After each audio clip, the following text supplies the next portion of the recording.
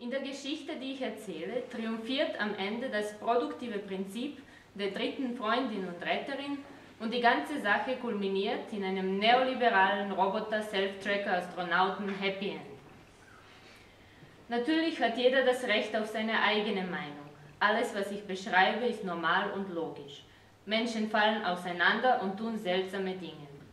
Das liegt daran, dass jeder irgendeine Schwäche hat sowie eine Vorstellung davon, was ihm helfen könnte.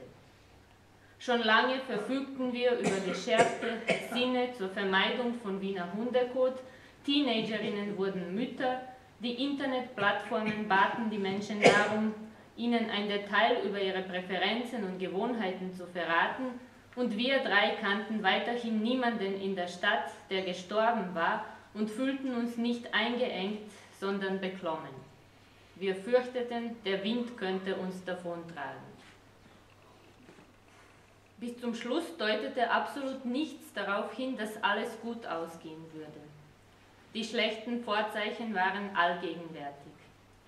Auf dem Weg zum Siebenbrunnenplatz stieß ich an der Treppe auf einen Kotzfleck mit einem Durchmesser von einem halben Meter und dachte, dass nun die Zeit für Veränderungen gekommen war. Zumal mitten in der gelben Säure eine Taube stand und aß. Und da die Masse flüssig war, warf die Taube von Zeit zu Zeit den Kopf nach hinten, um besser schlucken zu können, und von ihrem Gesicht ließ sich ablesen, dass sie glücklich war, während sich von meinem Gesicht ablesen ließ, dass ich nicht glücklich war. Dabei fiel mir ein, dass die Städte uns immer wieder kauten und ausspuckten und wir zogen unermüdlich um, vergrößerten unsere Reichweite. Es fiel mir auch ein, dass die Tauben auf die gleiche Weise herumflogen, ständig auf der Suche nach schmutzigen Terrassen mit vollen Mistkübeln, von denen niemand sie mit einem Besen verjagen würde. Darüber hinaus hegten sie sogar die Hoffnung, dass ein einsamer und kranker Mensch im Ruhestand ihnen erlauben würde, ein Nest unter seinem Bett zu bauen. Die Menschen vergifteten die Vögel, jagten sie mit spitzen Nadeln in die Flucht und bestraften all jene, die Tauben fütterten. Immer wieder passierte es mir, dass vor mir aus irgendeinem Loch eine todkranke Taube herausgekrochen kam. Im Café Siebenbrunnen an der Ecke Rheinbrixdorfer Straße servierten die Kellner den Gästen ein Putenschnitzel mit Nudeln für 7,50 Euro. Die Mistkübel riefen dem Passanten zu. Hosten Chick, bau keinen Mist. Für sämtliche Fragen bezüglich Mülltrennung stand den Bürgern das Misttelefon zur Verfügung. Den Menschen wurde geraten, sich auf das Leben einzulassen, ein Ziel zu finden, wenigstens ein Ausflugsziel, eines von den 68 Top-Zielen in Niederösterreich. Zum Glück war alles einfach dank Mobiltelefonie, Internet und Fernsehen. Die Bürger rappelten sich auf und nahmen am Bildungsvolksbegehren teil, aus Angst, Österreich könnte sitzen bleiben. Jede Unterschrift zählte. Der Siebenbrunnenplatz befand sich im Bezirk Margareten.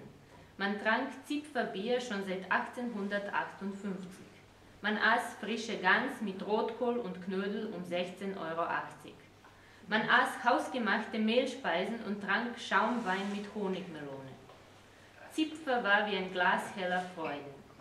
Die Leute aßen Torte und Tiramisu und lasen Ankündigungen für Konzerte von Halit Beslic und der alten Band Crvena Jabuka und sogar für das Megakonzert von Lepa Brena, powered by ichLiebeAutos.com.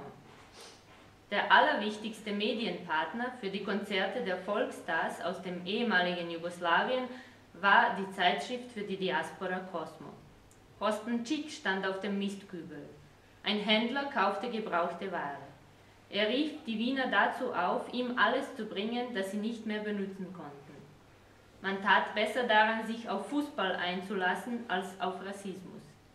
Die Bieler Filiale war wieder überwacht. Lange Finger hatten kurze Beine.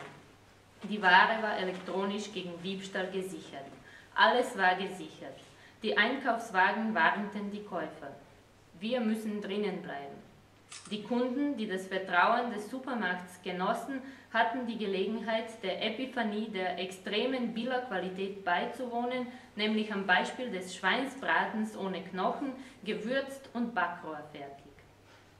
Durch die Adern des Supermarkts floss grüner Strom, der aus der makellos sauberen österreichischen Wasserenergie stammte. Die Filiale dachte nachhaltig, scheute keine Verantwortung und bemühte sich, ihren Bieler Standards gerecht zu werden. Sie rief die Bürger auf, ihre Traumkarriere zu starten. Einige wollten Leiter der Delikatessenabteilung werden. Am 11. November war der Tag des Apfels. Vom Konsumenten wurde erwartet, den Feiertag des Apfels durch den Kauf eines ganzen Eimers Äpfel zu beginnen. Knackige, frische Äpfel, rote und golden Delicious. Vor dem Geschäft befand sich ein Parkplatz für Hunde. Alles wurde immer besser und besser.